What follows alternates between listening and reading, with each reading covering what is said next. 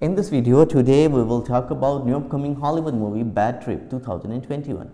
Before we begin do us a favor and click the like button also subscribe to our channel and hit the notification bell to be updated on upcoming Hollywood movies, news, video game and movie reviews every day.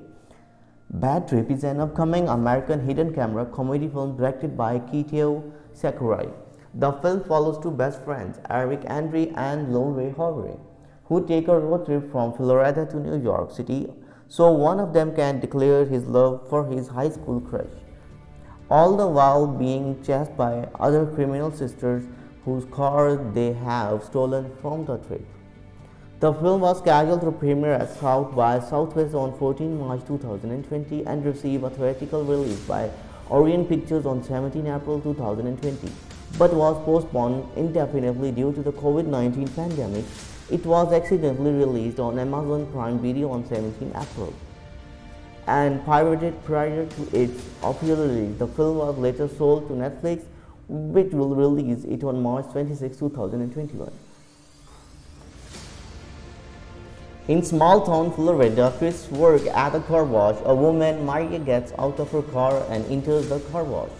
Chris tells the man whose car he is washing the Maria is his high school crush. He begins to vacuum the car, but the overpowered vacuum sucks his clothes off, leaving him naked. He beckons on the Mary's come out of the car wash and hides in the man's car. The man has a conversation with Maria and attempts to get her number for Chris, but she dislikes and leaves. Chris' best friend, Bud is work at the computer shop. His sister Trina park up in her car. After having a conversation with two customers, she begs Bud for money, but he declines. Although she is on house arrest, she robs the store and unchains her ankle tag, giving money to the two customers and warning them not to snitch. Later, Chris and Bud have a conversation about Trina, Maria, and going on big adventure. During the conceptualization of the film, Andre attended Robert McKee's story seminars and consulted comedians Jeff Tremaine and Nathan Fielder.